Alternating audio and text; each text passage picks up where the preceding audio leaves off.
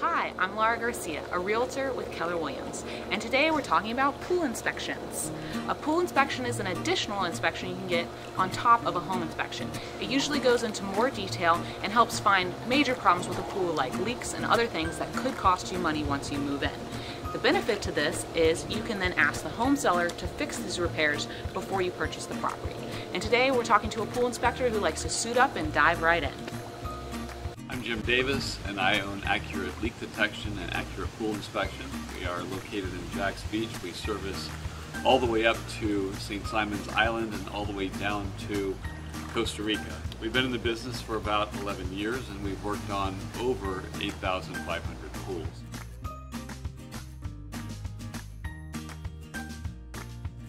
We run all the equipment. If they have features, water features, like this pool has deck jets, we'll run the deck jets. We'll run any kind of Venturi systems they may have, but everything has to operate. As far as the interior is concerned, we're checking for um, the longevity of the plaster surface. We're seeing if things are safe in terms of how they're assembled, if they're safe for your children to get in. So those types of things we look at on all of the pools as well.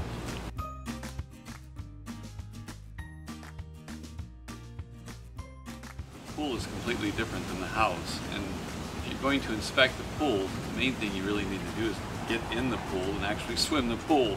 The inspectors don't do that. They inspect the pool from outside here. It's like me inspecting the house from out here. Of course, it doesn't make any sense.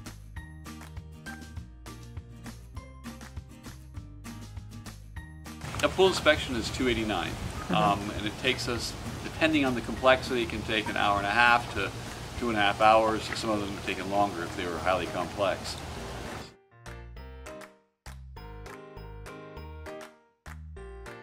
Well, the thing that we, we do different, we are a, um, I guess first and foremost, when we started our company, we're a leak detection company and a remediation company, meaning that if people have some type of a problem, a physics issue or something, they come to us to resolve that.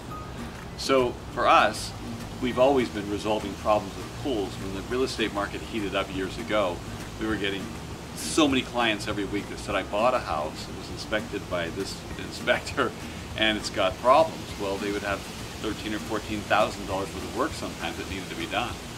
We wanted to stop that. So what we've done is started the inspection side, and we provide an underwater video for all the pools.